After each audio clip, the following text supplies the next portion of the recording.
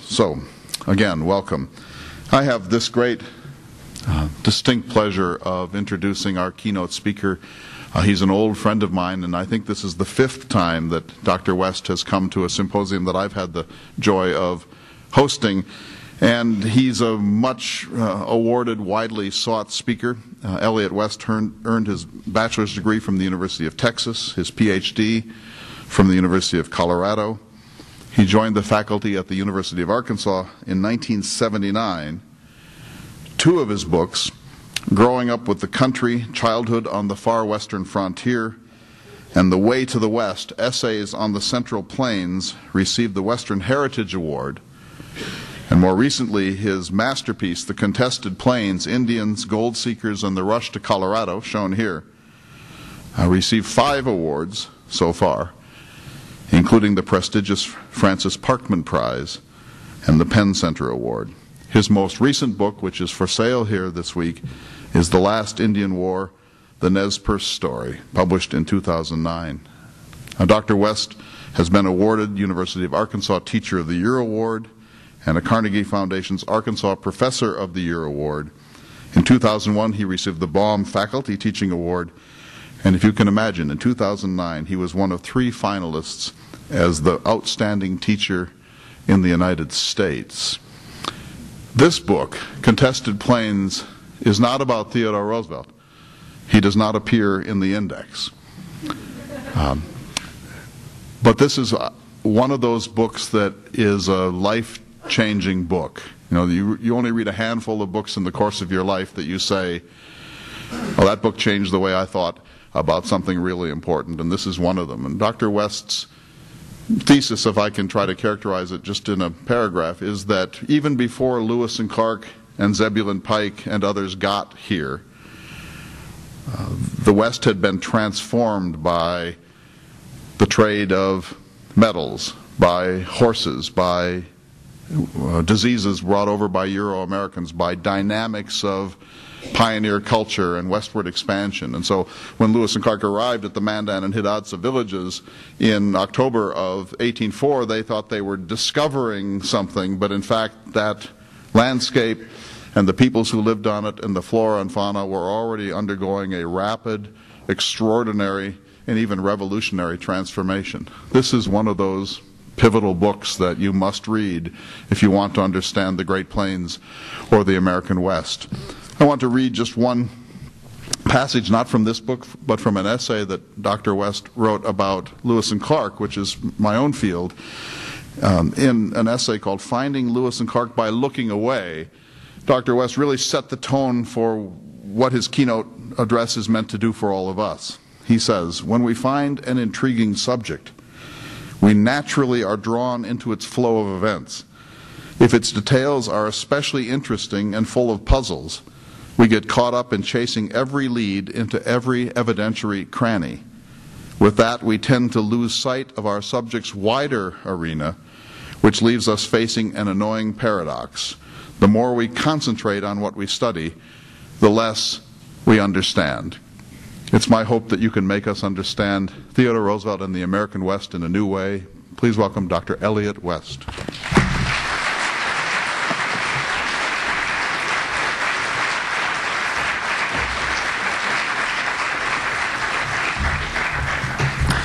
Well, gosh. Thank you very much for that wonderful introduction. Uh, thank all of you for coming. Thanks for the uh, invitation here. I've uh, been to Dickinson once before. That's because uh, it was the end of the day and I wanted dinner. Um, so I stopped here, and uh, but it's a it's a wonderful chance to be here. What a wonderful facility here, and what a wonderful uh, chance to to meet and to to talk and learn something more about this part of the country and and this uh, this extraordinary man. As Clay said, he and I have worked together several times before. So when he emailed me uh, asking me if I would like to take part, uh, specifically to lead off uh, this conference, um, pretty quickly, uh, I think I said, uh, sure, I'd love to do that. Uh, this was on email. Um, I pressed send, and within seconds, I thought, what have I done? I mean, this is this is a conference on Theodore Roosevelt in the West, and it, it's true. I've taught and written about the American West, but Roosevelt, it's the Roosevelt part of it that was a that was a problem to me because I'm in, in, no sense of the word uh, a Roosevelt scholar. He's a man that fascinates me and has for many years. I have on my office wall a photograph of uh, Theodore Roosevelt. I purchased a managed to purchase a uh, an autograph T. Roosevelt, it says, and I sort of framed it uh, below it. Turns out they're pretty cheap because he wrote a lot of them. Uh, he had a lot of them. but in any case, uh, he's, he's someone that um, I've, I've, followed you know, and, and, tried to learn as much as I can about over, over the many years. But I cannot stay, say by any, by any stretch of the imagination that I am uh, an authority on this. And here I am at a conference on this. Not only that, a conference with Edmund Morris. Holy cow. Um, a conference uh, for gosh, something like 35 years now, I've taught a course called The West of the Imagination. It's a course on uh, the, the Western, you know, the Western popular culture.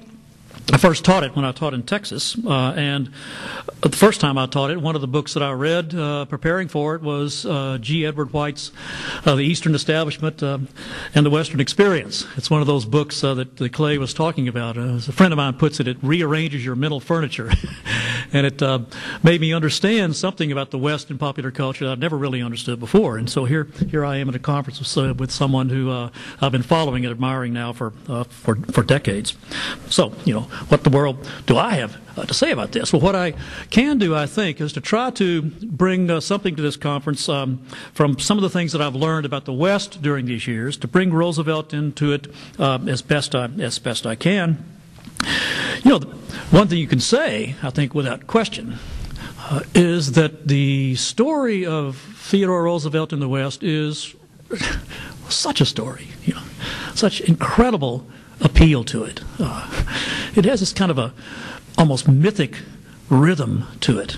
You know, it, it, begins really uh, following his first his first uh, hunting trip out here. It begins, of course, in tragedy, profound tragedy. Uh, it proceeds through uh, adventure, uh, some comedy, a kind of a, a, kind of an odyssey, a kind of a time of trial out here in the West, uh, and it ends. Um, ends in, in, with him returning a, a kind of a story of a redemption, uh, almost, in political terms, almost a resurrection.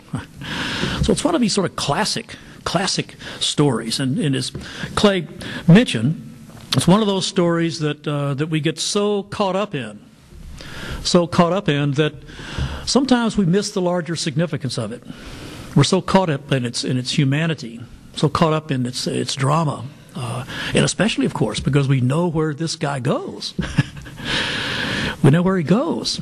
He goes back east still, such a young man.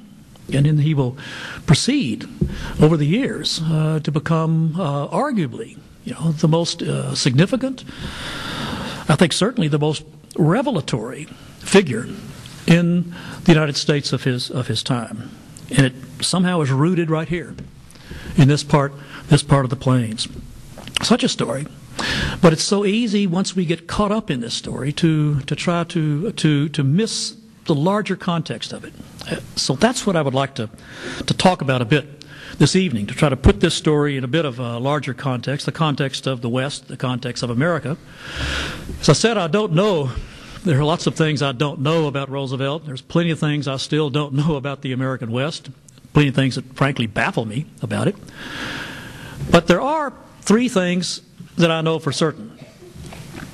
I know, number one, that in the 1880s, when Theodore Roosevelt was out here, the United States, this country, was well on its way to becoming, in, in essence, a new nation, a transformed nation. I would argue, too, this evening, that the United States, by the opening of the 20th century, was, in effect, a different country from what it had been even 50 years before different in, in so many ways. Different physically, of course, starting in the 1840s with the expansion to the Pacific coast, adding 1.2 million square miles to it. Different in its economic arrangements, in its economic landscape and contours.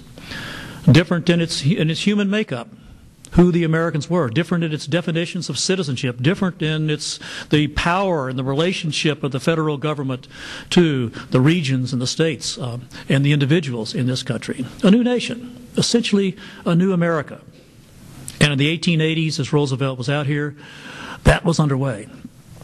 I know, secondly, that the American West that Roosevelt visited was coming in itself, coming into focus as a distinctive region in this country.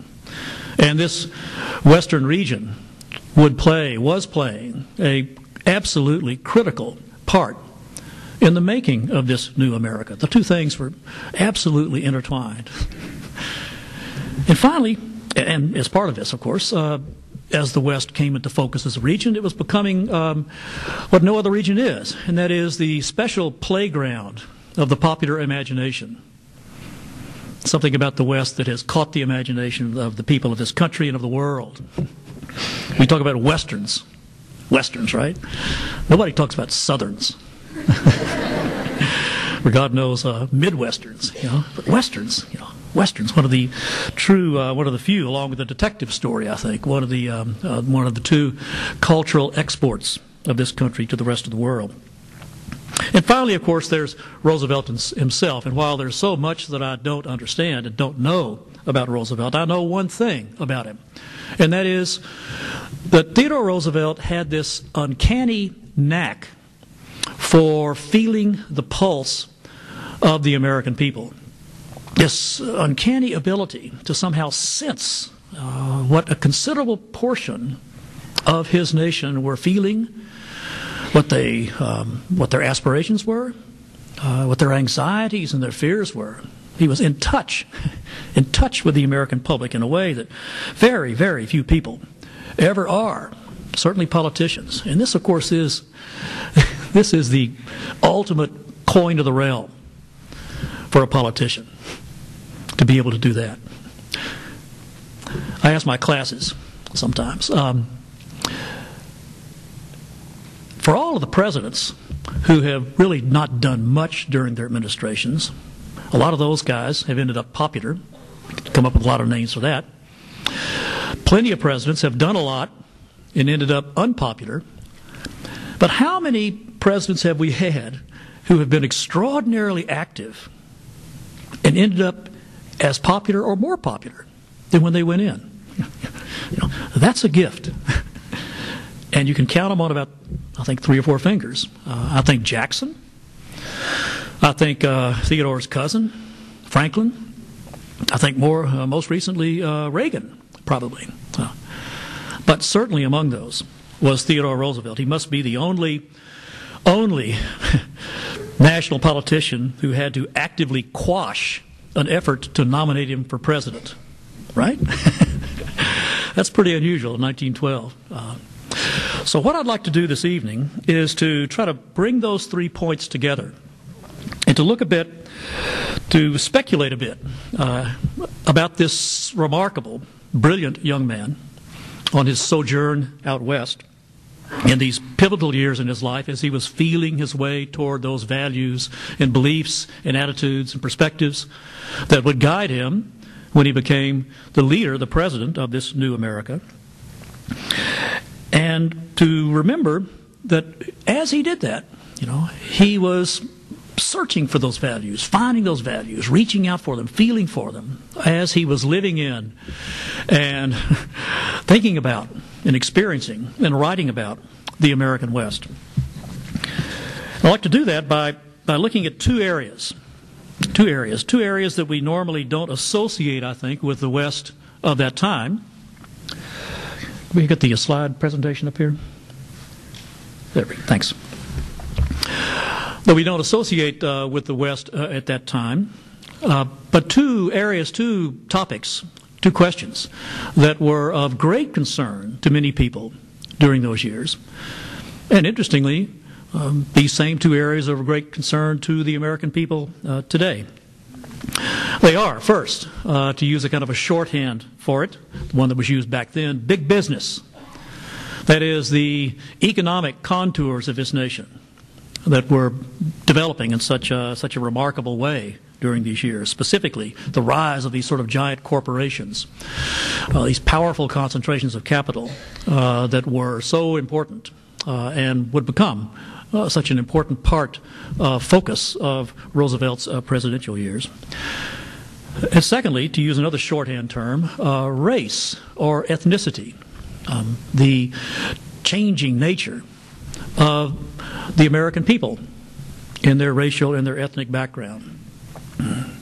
Also, a question of great concern back then, and uh, I think you've noticed probably uh, a question of concern today, specifically back then and today, questions of immigration and how what uh, sort of uh, what sort of challenges uh, this great influx of new people into this country posed for us during those years.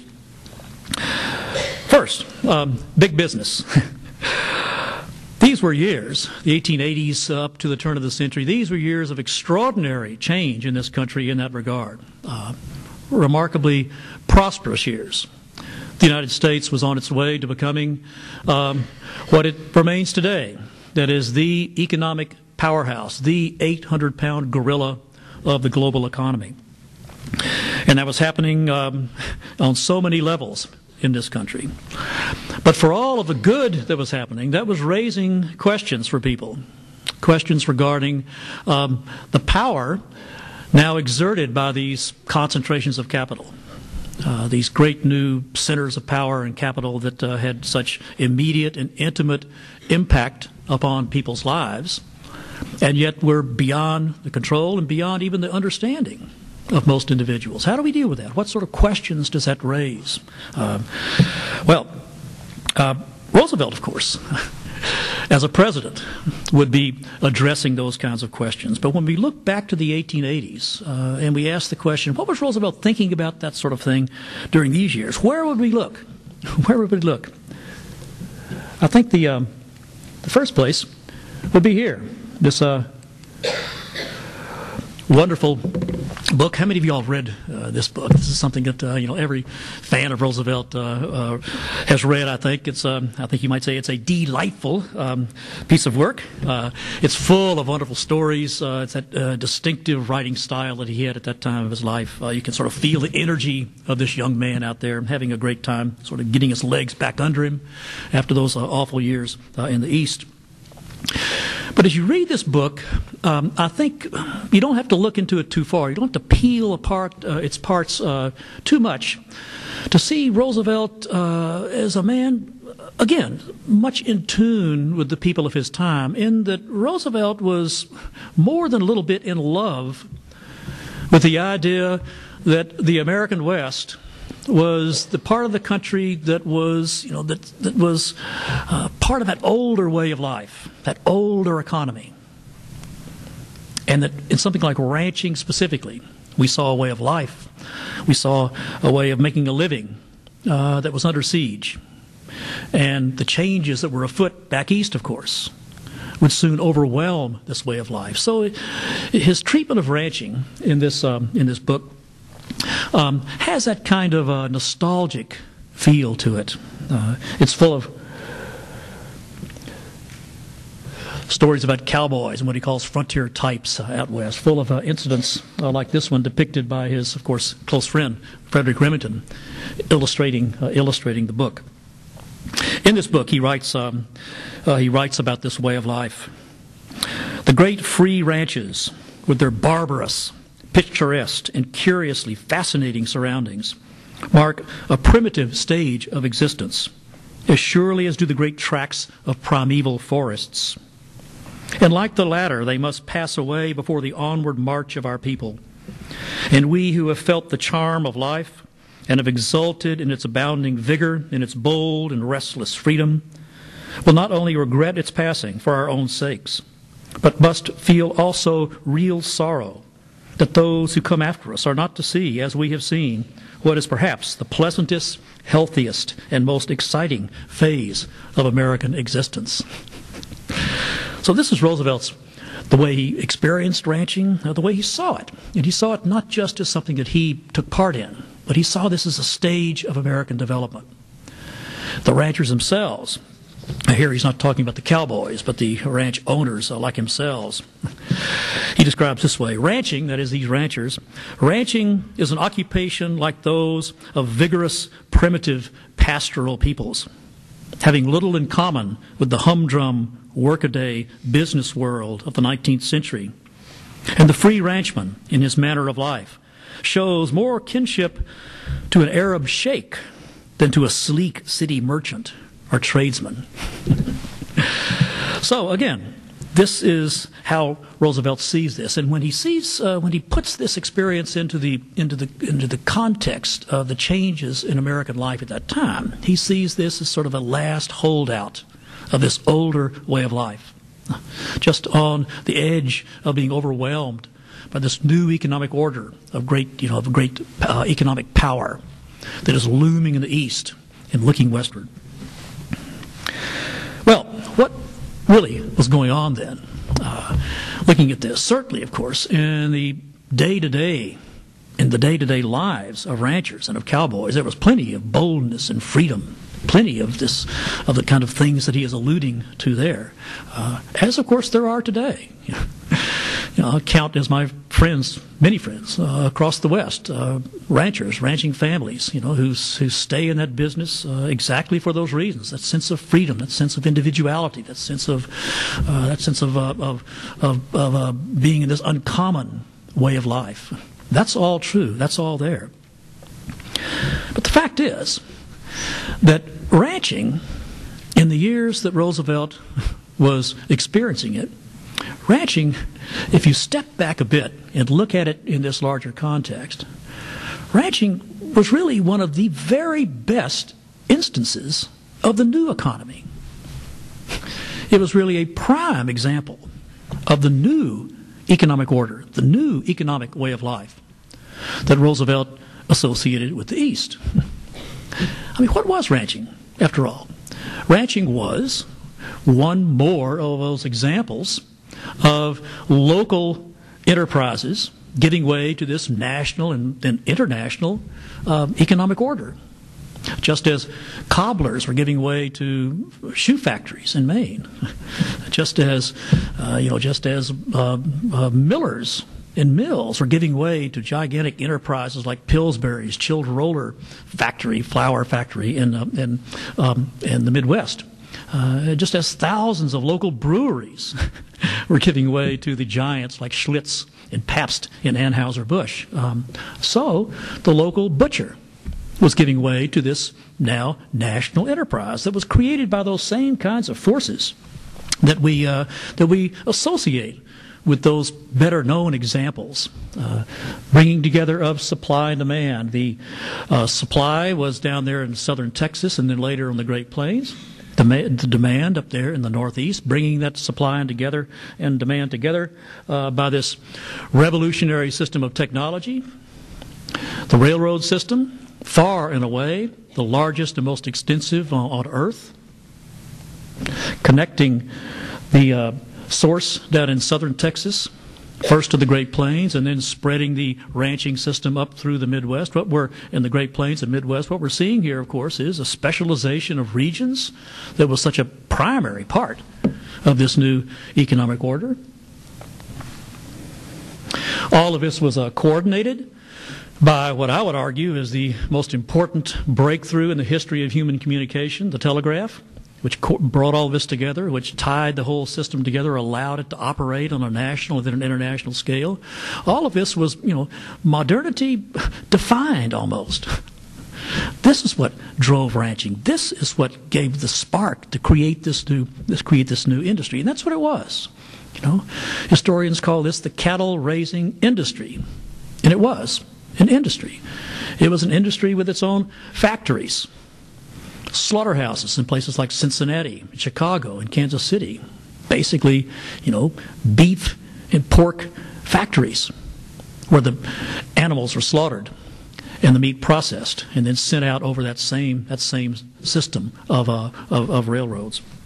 So this then was this then was the ranching industry, and this was um, you know as prime an example as I can think of of the very kinds of systems that Roosevelt and others thought was back east, you know, and contrasted with the with the uh, the world that they were living in um, out in the West.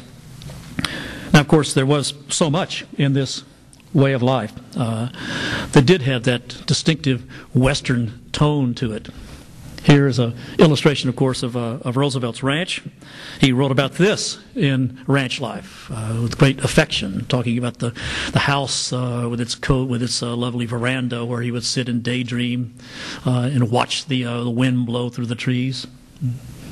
I think he was meaning us, meaning for us to look at this and to see this as a kind of a physical manifestation of this older order in contrast, in contrast to the to the world that you would see back east, the kinds of uh, the kinds of elaborate mansions that you see in the east, like uh, the breakers of, uh, of Cornelius Vanderbilt in Rhode Island. In contrast to this, you would see uh, you would see ranch houses like these. or J.P. Morgan's brownstone in New York City. Contrasted with that. or Andrew Carnegie's mansion in Manhattan. Contrasted with that. But looks can be deceiving. what were these places? What were these places? This was the headquarters of the Swan Land and Cattle Company organized in 1883, the year that Roosevelt came out on his uh, his first hunt, his first exposure uh, to North Dakota. Uh, its original investment, uh, about 3.75 million dollars. A few years later, it was capitalized at 50 million dollars. In time, it controlled something like 600,000 acres in Nebraska and Wyoming by far and away the largest ranch uh, in, in Wyoming, which was dominated, of course, by ranching. The point here is that while you might look at those great mansions and contrast them with these simple structures and think that this is very different ways of life. This represented corporate ranching. These were gigantic international corporations. The Swan Land and Cattle Company, a great example of it. It's, it's uh, you know, controlled by Scot investors. This one, this was the Matador Land and Cattle Company founded down in Texas originally, but spread up into Colorado, eventually into the Dakotas and Wyoming. Uh, this one was the also um, also uh, financed uh, by Scot uh, by Scot investors. This is the one that had the famous uh, manager Murdo Mackenzie, a good friend of uh, Theodore Roosevelt. Mackenzie, who uh, became a legendary figure on the Northern Plains, and then left that to take the job as a managing a ranch, an even larger ranch, larger than any in the United States, down in Brazil, reminding us that this was an international corporate endeavor.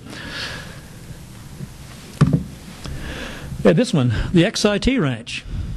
I think you've got a photograph of one of the cooks from the XIT out there, out there in the hall. The XIT, of course, uh, the largest, uh, uh, the largest ranch ever, at least on the 48 states.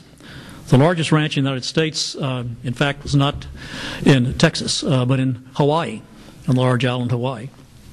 But this was the largest of the 48 states. It also was founded uh, back in the 1880s, about the time about the time as Roosevelt was coming out here.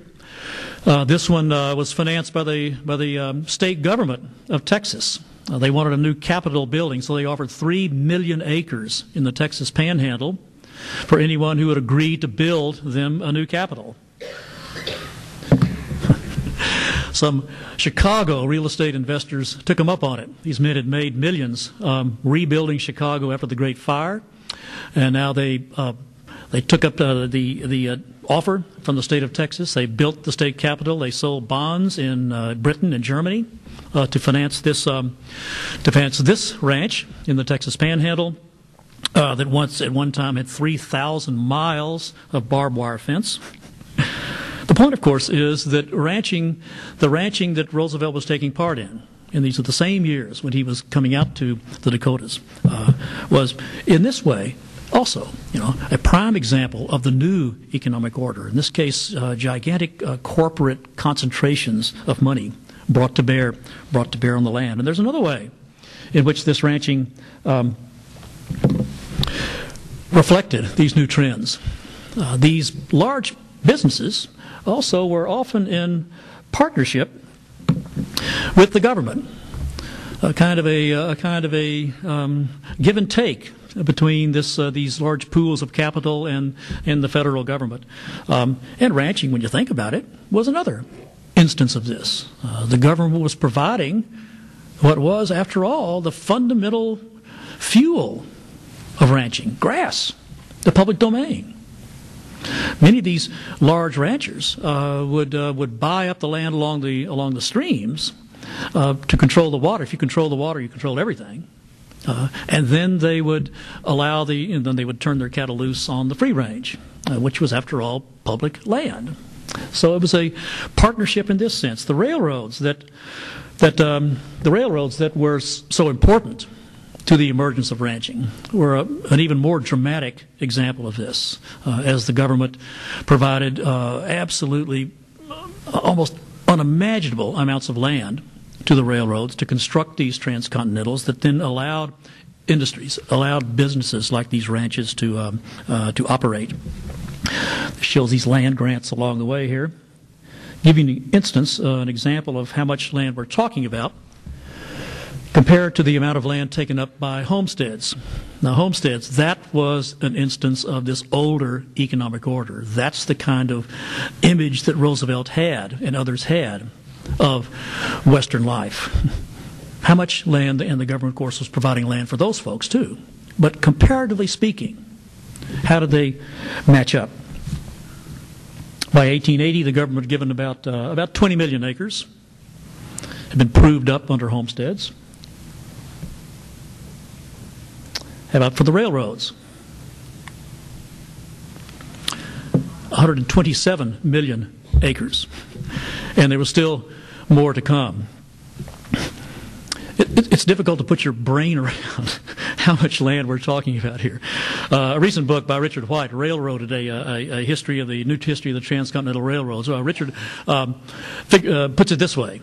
He said, if you take all of the land given by the federal government to these railroads to build these western railroads and put it all together, it would be the third largest state in the Union. Alaska, Texas, and then what he calls Railroadiana. and no better example uh, can be found for that than the Northern Pacific the railroad that um, that of course goes through or used to go through. I guess it's it's what the Burlington Northern now the um, uh, through Dickinson. Uh, the Northern Pacific that you know was the lifeblood was the the primary artery economic artery uh, for North Dakota.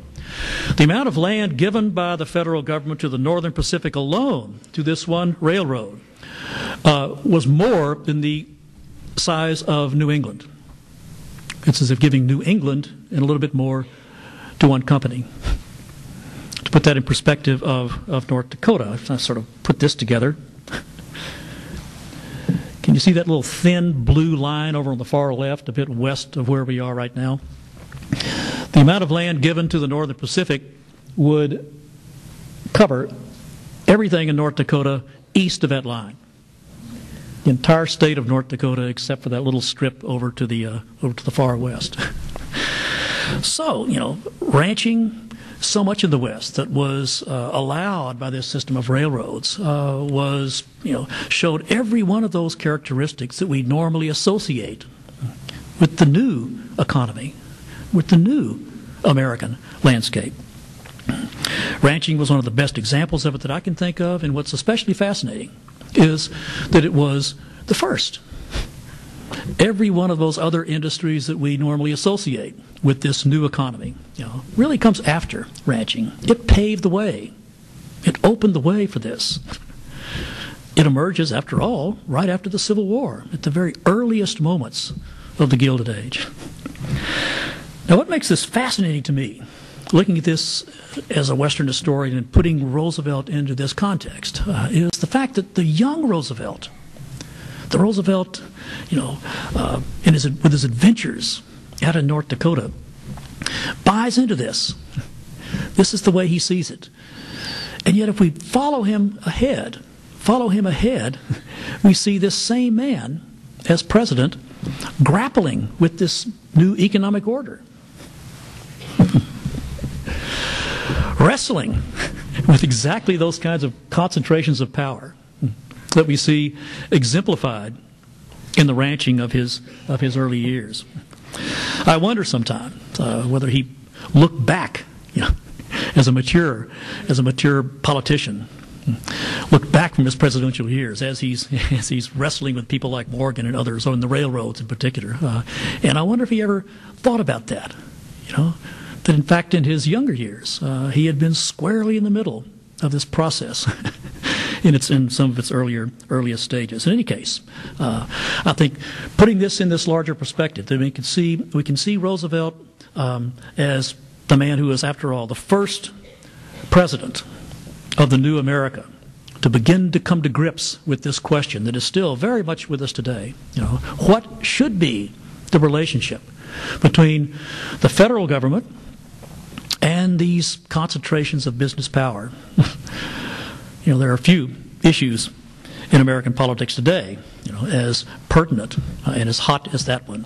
And we can look back here and we can see, I think, uh, a glimmering, an early glimmering of exactly that question in the life of this, um, of this remarkable man. Second, the second question, um, as I said, it was race. and I use that, as I said, as kind of a shorthand. What I'm really talking about here is the, the human makeup of the United States as it moved into this uh, this extraordinary time, as it moved through this extraordinary time, it was on its way to being this this new America, this transformed America. I think it's arguable that the United States between, let's say, 1850 and, eight, and 1910, 1860, let's say, 1860, the time of the Civil War, and 1910, during that short half century, the United States changed in its human makeup relatively more than in any other comparable time in our history. You know, think about that. Beginning, of course, with emancipation. Now, African Americans have been here for 300 years, but the American citizenry, in 1865, suddenly 4 million persons of color were introduced into American citizenship. By that time, we had expanded to the Pacific, which meant we that the American embrace uh, was now around tens of thousands of Indian peoples. Indians out west, unlike those of the east, unlike the Cherokees and the uh, Delawares and the others, uh, these Indians, these people had never had the slightest exposure to American institutions. The gold rush brought, you know, made California easily the most polyglot, the most extraordinary collection of humanity from across the globe to be found in any place, any place on earth uh, at that time. And then, of course, what, was foremost in the minds of so many people, uh, this surge of immigration from Europe, the so called new immigration. Immigrants coming now increasingly from southern and eastern Europe uh, rather than from the British Isles and um, the British Isles and elsewhere. So this country, you know, between say 1860 and 1910, was just in its in its human face, you know, was radically transformed. That was also part of the new America, and that, like the questions around big business and economics, that preyed upon the thinking of the American people. It bothered a lot of people. It bothered Theodore Roosevelt. Where would we look to get Roosevelt's ideas on this? Specifically in the case of the West. Um, well, we begin, of course, with the Indians. Uh, he didn't write a lot about Indians. Uh, he does have a chapter in Ranch Life uh, on Indian white relations and on Indians generally. Um, I think he claimed to be, in that he, he, in so many words, he claimed to be something of, of an authority on Indians. He, uh, but in his writing about them, he he sort of falls into uh, the typical cliches of the time. He sees good Indians and bad Indians. At one point, he says that the Nez Perces differ from the Apaches as much as a Scot Laird does from a Calabrian bandit. uh, this, of course, uh, as far as I know, uh, comes from a man who had never seen either a Nez Perce or an Apache. Um, but uh, again, the point here is that he's, you know, he's, he's, uh, this is a very common trope uh, of that particular period. And yet, uh, even though there are good guys like the Nez Perce and the Pueblos uh, and the Cherokees, um, for the most part, when Roosevelt, and we're, again, please remember, this is the young Roosevelt. This is the Roosevelt of the 1880s. Uh, when he writes about Indians, it tip, they typically it typically falls into this sort of common uh, these common uh, descriptions of a sort of backward savage people uh, who have no inherent right to the land because they're not using it properly, uh, and who then must give way uh, to this um, to this new order. He um, he continues to speak of them in that way, even as even as president, uh, when he uh, when he referred to the insurrectionists in the Philippines. if you read his comments on that, very often he will call them Apaches uh, and Comanches. Sometimes you get the impression that he was really irritated uh, that the Western Indians had surrendered. Uh, before he got out there, uh, so he could fight them. So he sort of projects them out there to the across the, across the Pacific in a letter in the 1880s, written uh, from his time out here, a letter that's uh, you, you see quoted um, fairly often. He wrote, I don't go so far as to think that the only good Indians are dead Indians, but I believe nine out of ten are.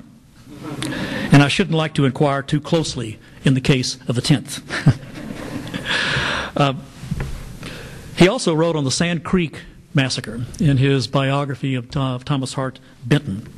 Uh, I and uh, Clay mentioned uh, a book. Uh, in that book, I, I, researched the Sand Creek uh, episode uh, very closely, and it's this was not a pretty not a pretty story. Roosevelt wrote of this. of this massacre, he said, while there were, quote, certain objectionable details, on balance, he said, it was as righteous and beneficial a deed as ever happened on the frontier. Again, this is the early the early Roosevelt.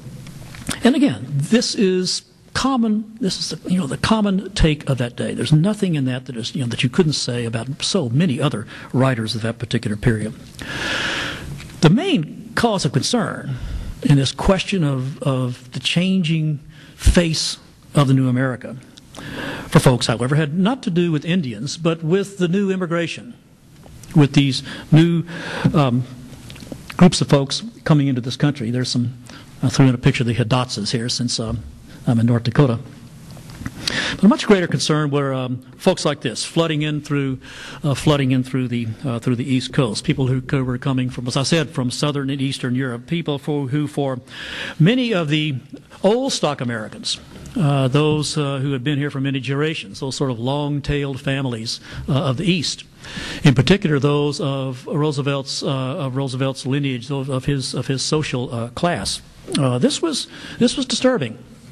These were people with, um, you know, who sp- spoke in strange languages, people who practiced uh, questionable religions, uh, people who lived by strange and exotic customs, people who smell strongly of garlic.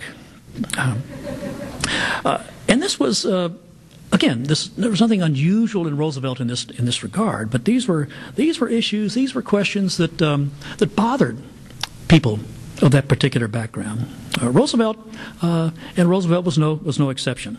Uh, most, uh, I think, best known in his attitudes and his writings were uh, his uh, his professions of what he called race suicide.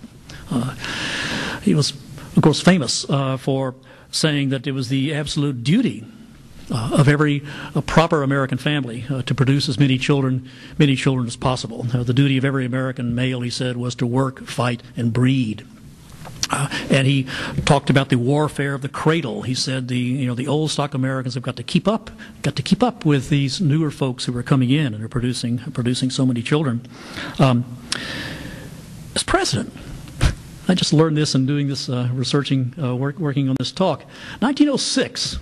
1906, President Roosevelt, in his address to Congress, proposed a federal amendment to bring federal control over marriage and divorce uh, in this country. you know, this, of course, has a very contemporary touch to it. this is uh, the very thing that is being proposed. Uh, in this case, the question, of course, of um, same sex marriage. Wouldn't you have loved to hear his thoughts on that? Uh, what, I'm pretty sure. I'm pretty sure where he would uh, come down uh, uh, on that question. Um, he also um, later um, uh, later in his life uh, proposed two of my favorite of his uh, proposals. One of them um, that the federal government should give certain economic preferences to parents with three or more children, and my absolute all-time favorite, the salaries of public officials should be gauged by how many children they had. In other words, if you if you were if you were a public official and refuse to produce children, um, you'd never get above the lowest pay level. Uh, on the other hand, uh, well, uh, I have five children. I think it's a terrific uh, way to approach uh, to approach salaries. so this was uh, this was a man then who uh, who really up until the end of his life was expressing was expressing to a degree these these sorts of concerns. Uh, including a control of immigration um, in 1894, in an article in the in the Forum, an article "True Americanism." He said we need much more drastic laws on immigration that now exist. We need to sort of clamp down on this immigration and control it. Then there was a case of his friendships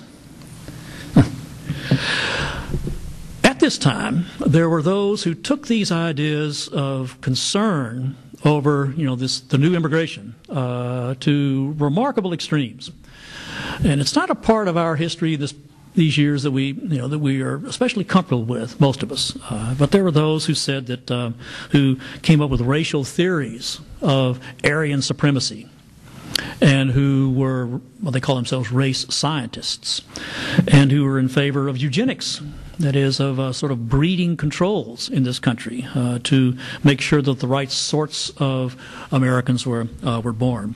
This was probably the best known of them, Madison Grant, but there were really three of them. Henry Fairfield Osborn, who was the uh, director of the um, New York Museum of Natural History, John Merriam. These were, these were the big three of the American eugenics movement. And of these three, the first two, Grant and Osborn, uh, were close friends of Roosevelt and lifetime correspondents with him. Ex- exchanged dozens of letters uh, with them. Many of them on these on these particular topics. Uh, Grant, in particular, is probably the uh, most important of these, and Grant was the author of the book that really was kind of the Bible of this whole movement, "The Passing of the Great Race." When this book came out, uh, Roosevelt um, immediately ordered a copy, uh, read it at uh, Sagamore Hill, uh, and wrote uh, to his friend Grant. He said, This is a capital book in purpose, in vision, and grasp of the facts that our people must uh, most need to realize. And he said that all Americans should be sincerely grateful to you for writing it. This was blurbed on the back of the book for, for future editions. Now, again, let me emphasize uh, these ideas, uh, while we find them in, uh, uncomfortable and uh, in some cases bizarre, uh, this was the air that many people were breathing at the time. The folks of Roosevelt's crowd, of, of, of his of his world, uh, this is a very common, very common idea. Don't you know? Don't take the idea that he was um, that unusual in this. He was really pretty much, especially the younger Roosevelt, pretty much along the lines of so many of so many others. Uh, well, what does this have to do uh, with the West? What do these? How do these people relate this to the West? And here is where, as a Western historian, this gets uh, this gets kind of interesting. Because when these folks with these concerns looked westward, they saw the West as kind of the last bastion of the true Americans, you know, the old stock Americans. Just as they were looking westward in the economic changes of the time and seeing the West as sort of the last stand of this earlier, simpler order. In this case, they were sort of riding off the east, the Atlantic coast, uh, as you know, already hopelessly overwhelmed by these changes, and putting their faith, putting their faith out west.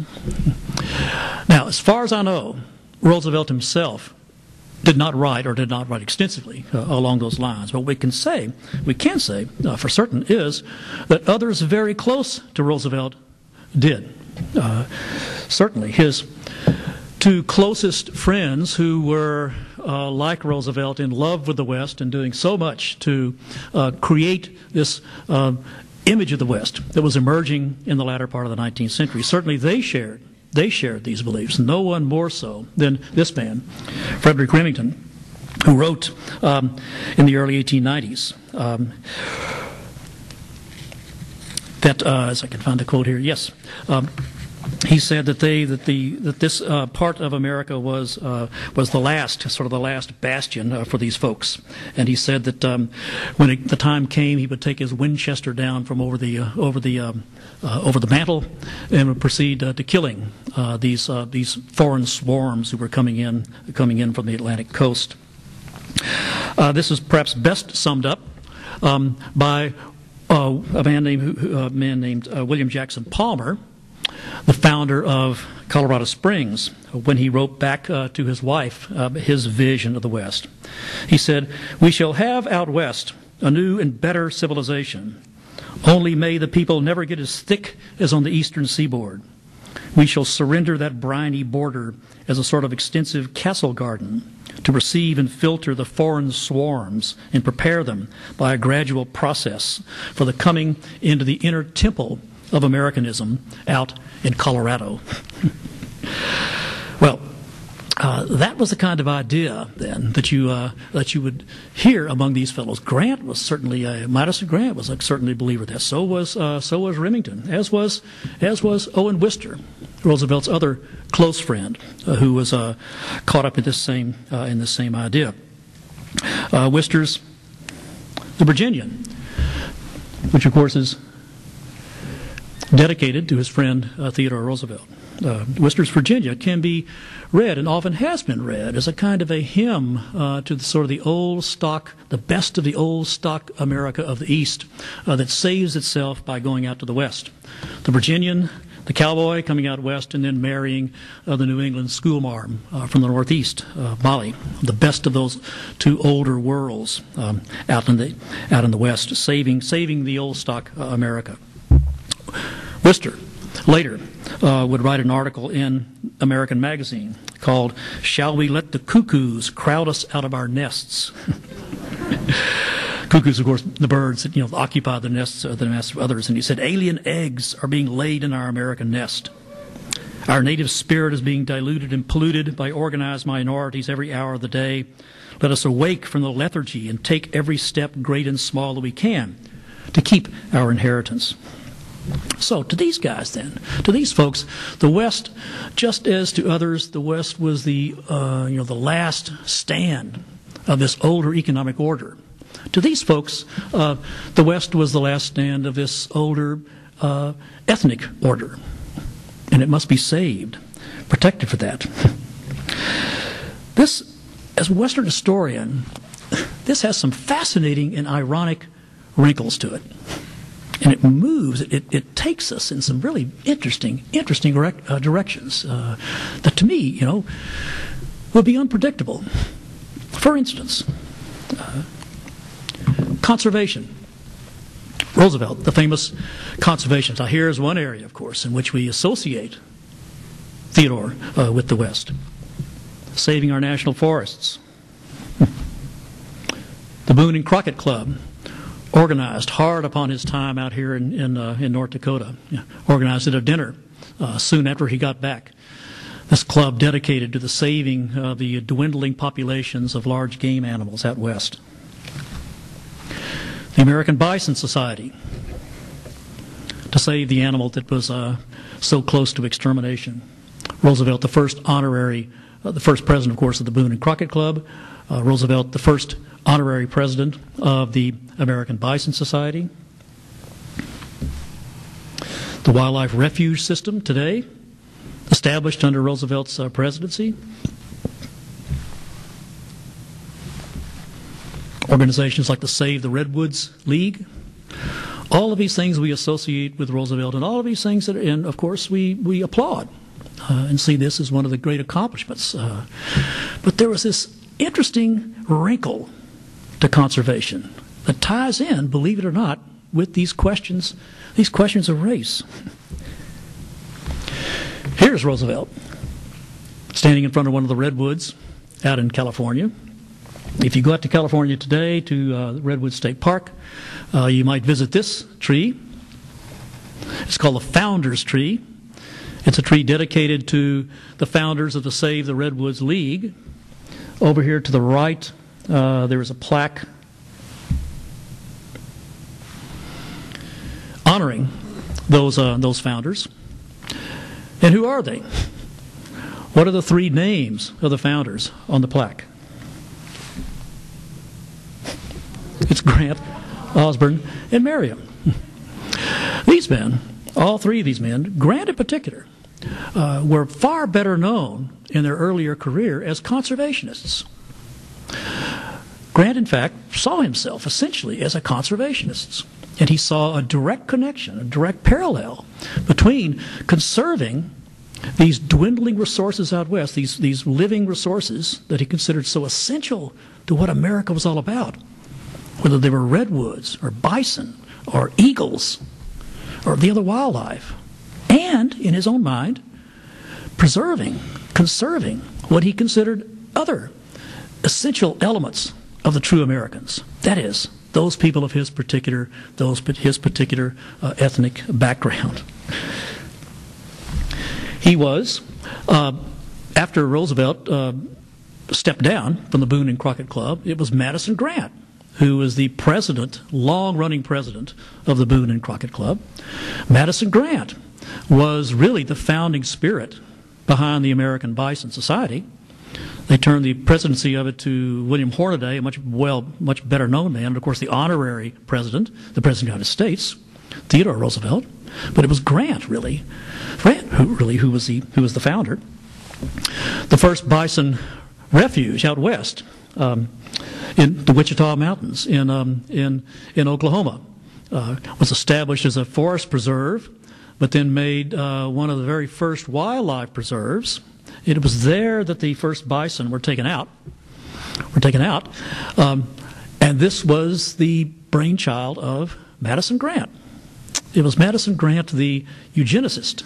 It was Madison Grant, then the Aryan supremacist, uh, who saw this as just as important um, and directly related uh, to the uh, to to that uh, particular that particular concern. Very very odd bed bedfellows indeed and the first bison uh, taken out west were to the were to the Wichita Refuge. Uh, they were taken from the Bronx Zoo, the New York Zoological Society, uh, that had been founded by, um, among others, uh, Theodore Roosevelt, Madison Grant, and Henry Fairfield uh, Osborn. Well, one thing you can say about this, well, again, to, to reiterate, what these guys did, what these guys did was to look west and to see the West then as this last refuge of the true Americans, the real Americans. And turning back to the east, then they looked at that part of the country and they said, well, you know, it's pretty much pretty much a lost cause. What Palmer called the briny coast of the um, of the east, as opposed, you know, to the uh, to the true America out west. And once again, as with this economic order, um, they got it just about exactly backwards. if you look at the question, you know, ask the question of all the states along the Atlantic coast, which had the highest percentage of foreign born persons? At the top were Massachusetts and New York. About one out of every four persons in 1880 had been born outside of this country. What if you went west? what would you see?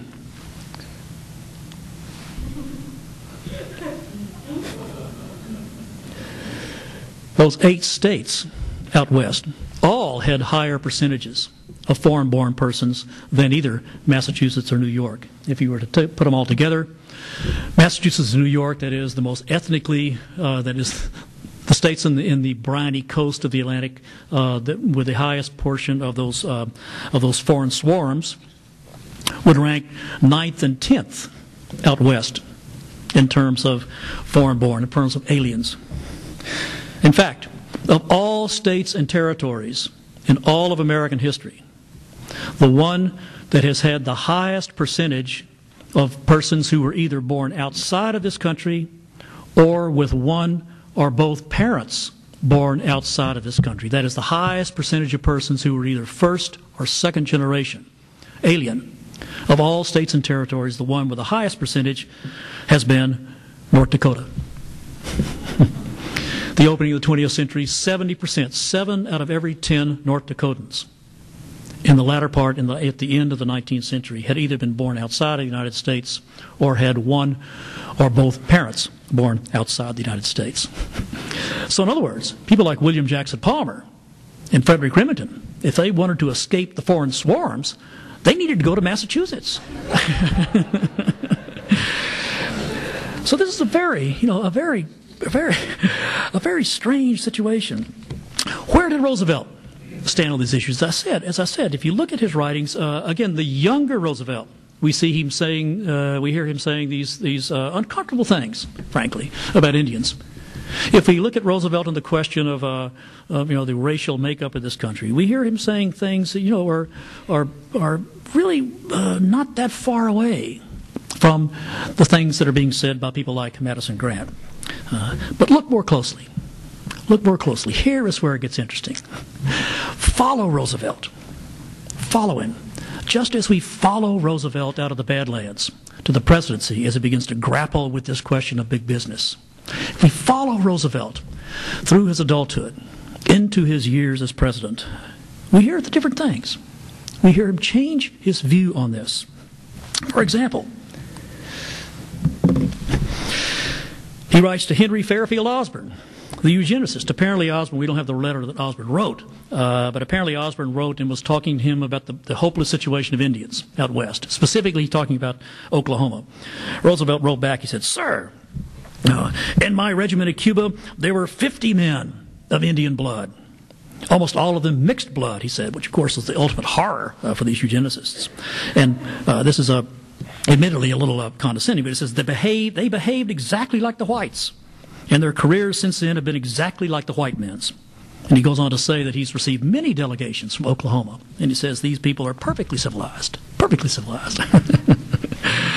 he came around, in fact, to arguing. Uh, so the answer, you know, to the problem of the Indian problem, what people see as Indian problem, is uh, interbreeding.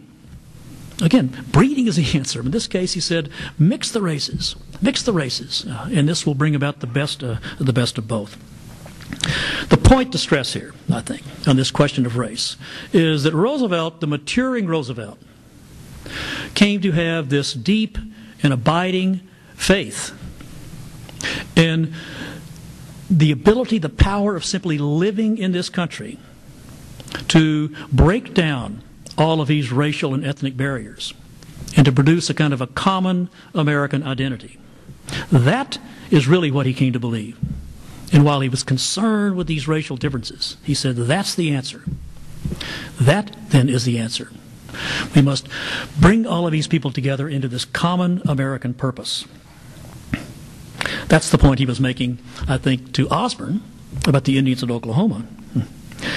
There's a fascinating letter that he wrote to a, a journalist who had come across that quote that I read to you earlier. Remember, the uh, I'm not saying that all Indians, the only good Indians are dead Indians, but nine out of ten, that sort of thing. Uh, this guy had come across this letter, and he asked Roosevelt permission to reprint it. And the president wrote him back. He said, I must ask you not to publish that letter of mine about the Indians. The reason is this that letter was written 18 years ago, that is 1885. Extraordinary changes have taken place in the country of which I wrote during those 18 years. For 18 years on the frontier is as long time as a century in the older civilized regions. And he went on to say that now there's been no violence out there, and now, in fact, what we see out there is this magical process of Americanization with Indian peoples becoming part of this uh, common of this common society. And of course, the, the Roosevelt, the Roosevelt, the president, the, the, the, the way in which this was best exemplified was through politics. And he ends his he ends the letter. Some of the Indians in North Dakota now not only vote, but they actually go to political conventions. It's astonishing. Uh, now, he doesn't say which conventions. Um, I suppose he might have thought that you know if they went to the Democrats, they're on sort of a lower stage of civilization, but they were moving up uh, toward the Republican Party. Uh, so, in other words, what Roosevelt was, what Roosevelt was expressing, uh, what he came around uh, to express, what he came around to embrace, uh, was the notion of what we would come to call, of course, the melting pot. And this was about as far as you could get from those racial theorists in that day. What he did, even, even at the time that he was continuing his friendship with people like Madison Grant, he was coming around to the notion that uh, America is a place in which all of these peoples could, could over time, uh, become a part of this common, common American experience and common American society. Uh, the term melting pot has an interesting history. Uh, it was coined by this uh, man, Israel Zangwill, in this uh, play that he wrote, 1912. This phrase very quickly became part uh, of the American vernacular.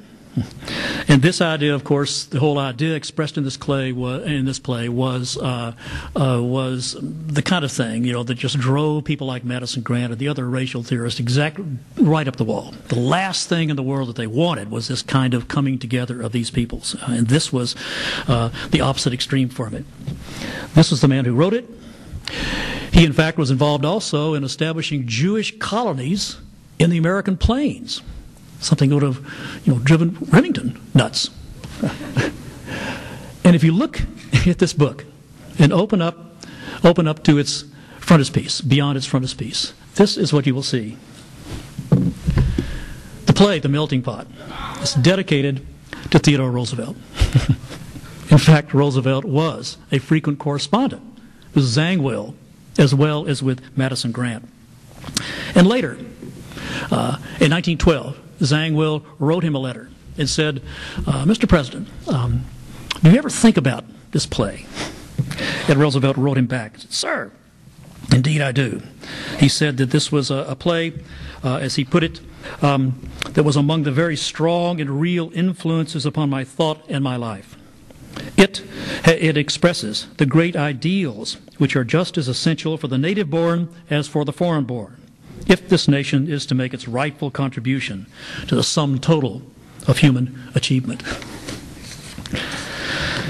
So, what are we what are we to make to make of all of this? Um, I think a few a few points. Uh, first, what we see is this, for one thing, is this emerging America, this emerging new America, grappling with questions that are startlingly familiar to us uh, today. Uh, the question of the power of business, the proper relationship of government to business, to what extent should government regulate business, the kind of questions uh, that are very much a part of the uh, political landscape uh, today. The question of the human makeup and specifically the questions of immigration and the changing nature uh, of American society and the kind of challenges that that poses and how the government should respond to that. This was part of the world that, uh, that Roosevelt was going through. Uh, what we see here is Roosevelt's West playing you know, very unexpected roles in this. Very, you know, different from what we normally think of what was going out there. The West, in fact, is a great place, a great laboratory for studying uh, so much of this. And finally, we see uh, this remarkable young man himself uh, moving, uh, evolving uh, from his young, uh, cliched views on these questions uh, toward ones that were far more complex, far more nuanced uh, than we uh, than they were before, and far more, I think, reflective, far more reflective of what the Americans were speaking, were thinking generally, and, and what Americans uh, think uh, today. Given all that, I think the final, most obvious point, perhaps, to make is that Roosevelt's West and Roosevelt have at least one thing in common. they are both easily misunderstood. They are both easily underestimated. And consequently, both are far too easily given uh, to caricatures. In fact, both of them uh, were far more complex, far more subtle, far more subtle in their, in their nature than we have given them credit for. And we begin to understand that and begin to appreciate those complexities, um, then perhaps we have something to learn uh, about this new America, about our America, uh, that both the West and the Roosevelt uh, shaped so profoundly. Thanks very much. Wow. Take some questions.